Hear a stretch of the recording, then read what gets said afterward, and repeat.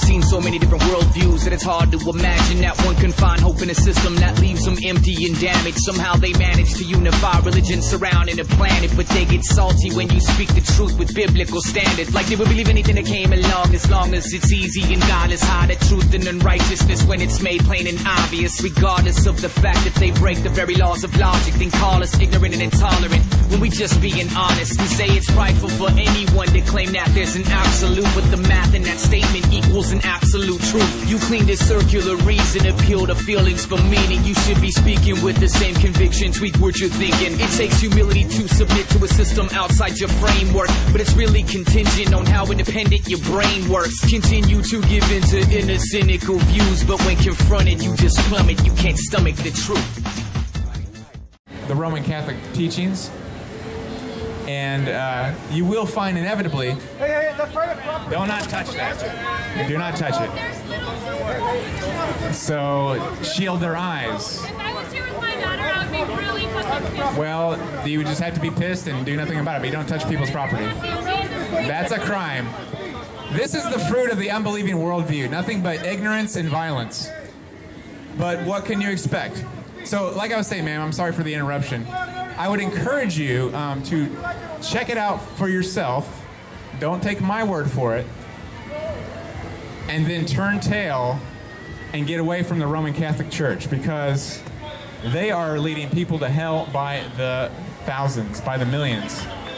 Um, this part, this is about abortion. And uh, the fact that that lady was uh, offended by that is just disgusting. That shows the depravity of the human heart, the exposure of darkness. This brutal act, which pulls off the death toll of about 1.5 million kids every year. So you're know, we had all sort of turmoil, and rightly so for the 3,000 that, that died in the towers on 9 11, but not any sort of anguish of heart or, uh, you know, sadness, any, any pause for the one point, I mean, 3,000, 3 point, uh, 3,500 every day. So we have a 9 11 every day with the most defenseless. I mean, pick on someone your own size. So, but you you're freaking barbaric. that all right, that abortion is okay to do? Not, not at all. So it's disgusting. So and I know the Catholic Church at least strongly opposes that. I, I applaud them for that. But anyway, It- I want to also. Whoa. Giving a shout out. for real. For real style. That's a real shout out. Amplified. So I wanted to. Uh, Bye. bye. Have a good day. You too. Happy Saturday, everybody. Happy Saturday. Lovely evening. Lovely day. Let me hear, hear everybody say woo! Make sure you praise God for the uh, still remaining freedoms that we do have in this country, and praise Him for this lovely weather too. So, anyway, I was wanting to address the church a little bit because I do find more and more, as I analyze my own heart, and as I look at the state and condition of those who profess Christ, I am finding that Chri- uh, Satan is doing probably most of his work there. There's a lot, a lot of deception. And I need not only preach out to those people who blatantly reject Christ, I think I have to preach to the choir too. And that's sad, but it's true. As Metallica said. true, but true. Um, so we need to uh, consider, I think it was in Hebrews 11, which discusses what uh, true faith is. He's the rewarder of those who diligently seek him. And that, that kind of uh, speaks to the issue of uh, seeing temptation for what it is. It's a false promise. You know, if we really believed God, we would see the desires uh, and temptations in this life as so more minute to the desires we have for God. They would be like comparing, I don't know, turds to gold. And if you want to think about this rationally, um, if you are going to dive into the, the wiles of the flesh, I don't know what it is, whatever, name your sin. If that is your thing, and, and, and that draws you in as a professing Christian, shame on you. Why does it? Why does not our love for and desire for God supersede that. That is but mere turds compared to the gold that is rewarded, like Christ said he would do in Hebrews 11. He would reward us so much more bountifully than that will provide.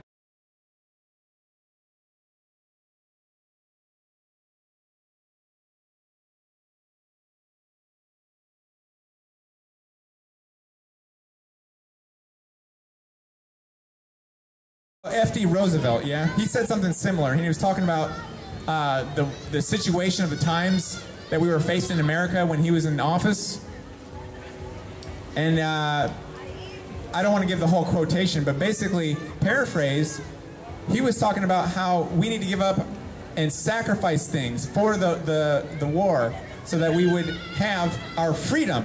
He said, giving up luxury and creaturely comforts for freedom is not a sacrifice. People thought it was a sacrifice that, that you know the wives would have to go work in the, the metal mills to make bullets and I don't know whatever they were doing. But that sacrifice was not really a sacrifice because it secured their freedom, so much something way more valuable. And so when we talk about the rewards that we'll get in heaven for eternity, or even the rewards temporarily that we we will also receive for obeying God as opposed to not, we will see that it's not really a sacrifice at all. So why do we continually look at it that way? And we should actually, really, not just as a metaphor, see it as a freaking pile of turds. We're gonna trade in uh, gold for poop? That's not right in the head. And that's basically what you have with the word repentance. It means a change of mind. And I'm not, I, like I said, I'm preaching to myself on this one too. God has still got a lot of work to do with me. He says He will uh, be faithful in perfecting that work. That is sanctification. I'm looking for it more and more, although it is painful. but like I said, and like the Bible says, we must put on the armor of God, which would uh, include the shield of faith, which is believing the promises of God over those of Satan or the flesh. The helmet of salvation is remembering our future hope. The shoes of the gospel of peace ground us in the past effect the gospel has already had on us. The belt of truth gives us specific rebuttals to sin, so on and so forth. So, What about the socks? the socks just stink. They smell like sweat. so yeah, man, you guys just don't be lethargic in this war. Don't be hitting the spiritual snooze button. We don't have time for that. We need to be just all out, uh, you know, warfare on the deeds of the flesh. We are our own worst enemies. Look in the mirror. What does the Bible say? In the, the uh, Our Father says, uh, "Deliver us not unto temptation, but deliver us from evil." Deliver us from evil. A lot, a lot of times we think of the, the world and its evils that are tempting to us, or the devil and his little whisperings in our ear. How about deliver us from ourself? It's our own nature that is the biggest problem. deliver us from ourselves. He's saving us from not only his own wrath, but from ourselves.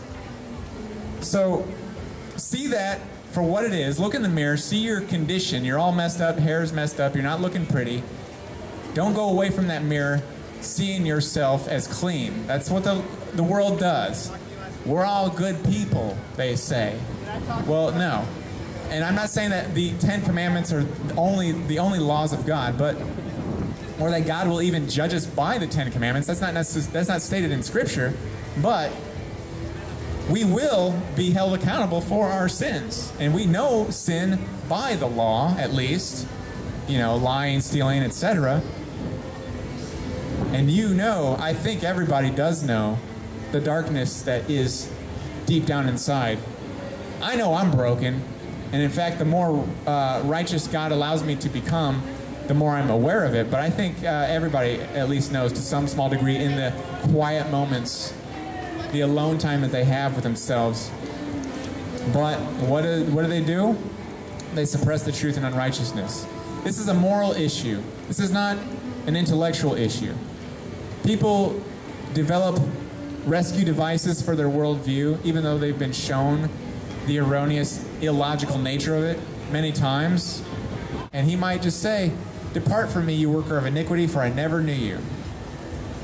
I don't want that to be me. I don't want that to be you. That's my whole purpose for being out here.